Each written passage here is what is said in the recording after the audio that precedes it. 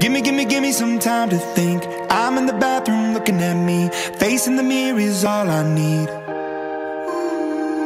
Wait until the Reaper takes my life. Never gonna get me out alive. I will live a thousand million lives. My patience is waning.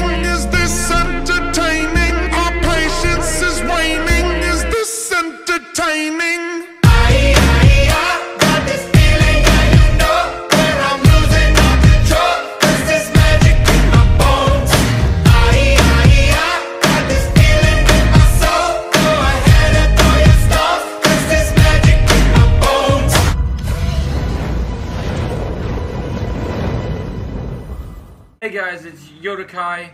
We're, we're watching the Percy Jackson new show. I forget if it's a show or a movie, but we're watching something new Percy Jackson related. That's all we need to know.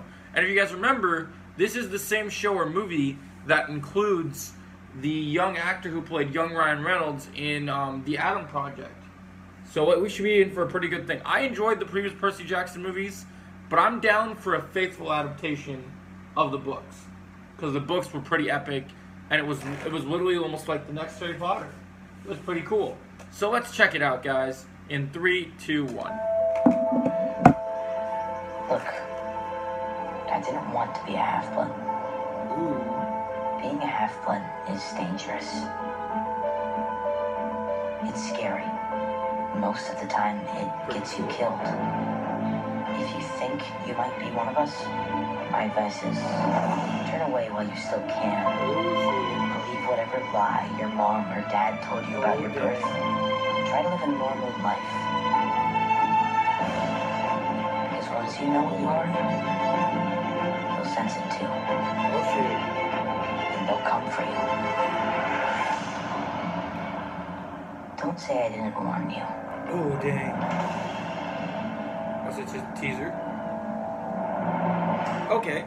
Yeah, it looks it looks interesting. They didn't really reveal too much, but it's a pretty cool teaser trailer, if I must say. Um, I, I, I think I'm pretty I'm pretty down with it. It looks cool. What do you guys think? Are you guys excited for the Percy Jackson show or movie? Let me know in the comments below, and have a great day.